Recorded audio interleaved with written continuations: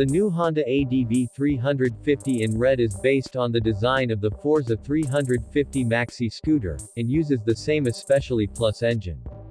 However, there are some key features that set these two bikes apart.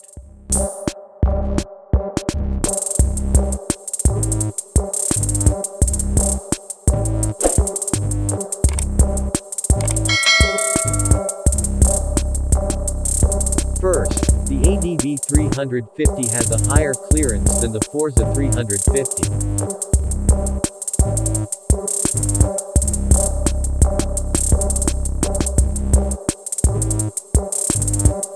This is due to the embedded suspension components, namely the Showa 37mm upside down at the front fork and the twin Showa at the rear.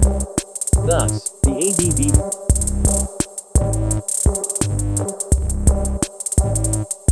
350 has the ability to bulldoze uneven terrain better. ADV 350 is also equipped with facilities that will make the rider feel at home sitting for hours on the seat.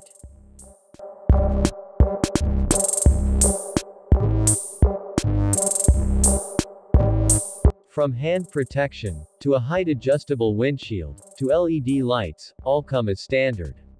The screen used is also fully LCD, coupled with the Smart Key feature, USB Type-C charger connector, HSTC system, to RoadSync as a means of connecting this scooter with a smartphone.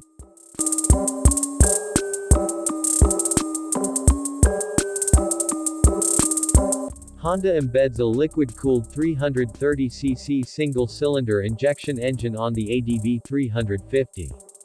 This engine features Smart Power Plus and Honda Selectable Torque Control HSTC, and produces a solid 28.9 horsepower.